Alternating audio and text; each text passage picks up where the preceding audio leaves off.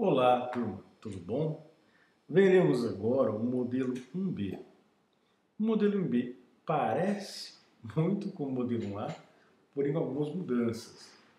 Nós vamos aqui colocar um comando para ter um local com múltiplas capacidades.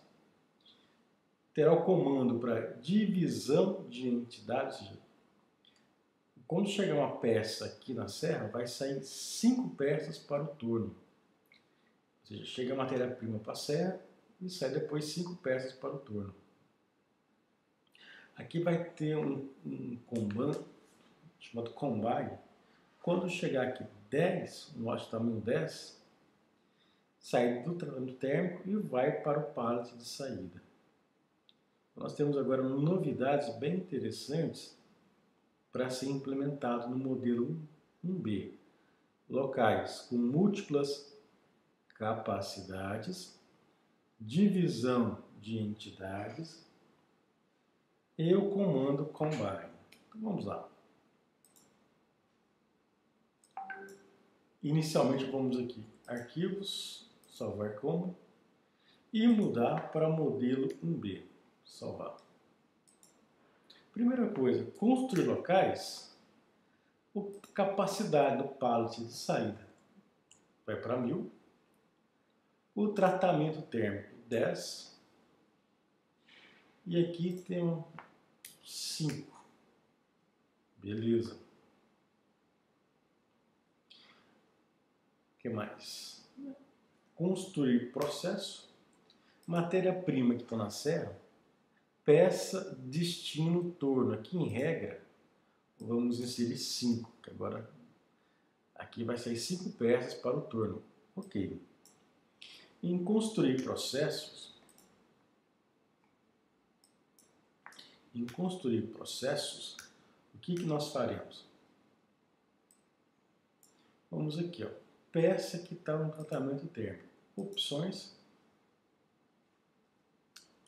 comando combine 5. Ou seja, quando aqui formar um lote tamanho 5, aí sim que vai para o pallet de saída. E aqui é a mesma coisa, combine 5. Perfeito.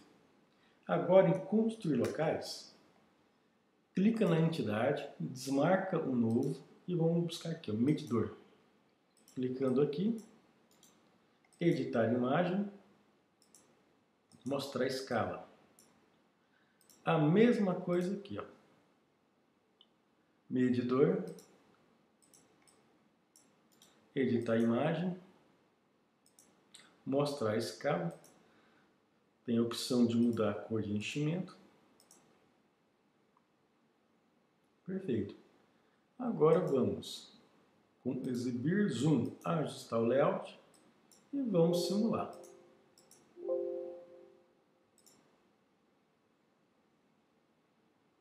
Então aqui chegou em 5, já vai enviando produtos para o nosso pallet de saída. Vou aumentar a simulação aqui, simulação opções, para 30 horas que vai ficar mais fácil para vocês enxergarem.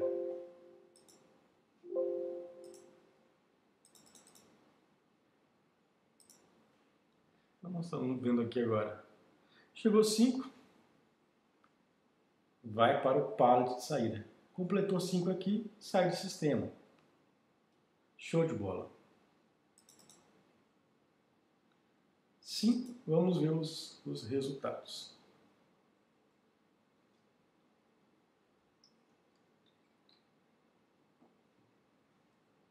Aqui, que saiu aqui, teve formação de 10 lotes tamanho 5 e aqui saiu dois lotes de tamanho 2, né?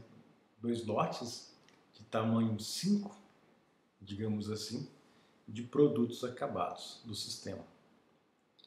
E aqui, clicando em locais, podemos verificar qual, quais são os possíveis gargalos. Mais uma vez, a serra é uma candidata aqui a ser gargalo do sistema, porque tem a maior taxa de uso. Perfeito. Vamos aqui construir locais e vamos aumentar a capacidade da serra para 10. Do torno para 5 e para a fresa 5. E vamos simular novamente.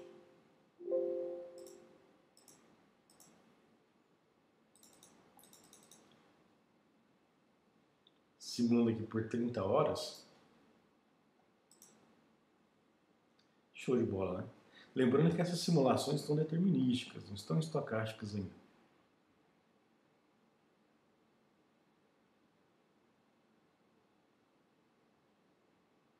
Perfeito, está encerrando aqui. E vamos ver as estatísticas.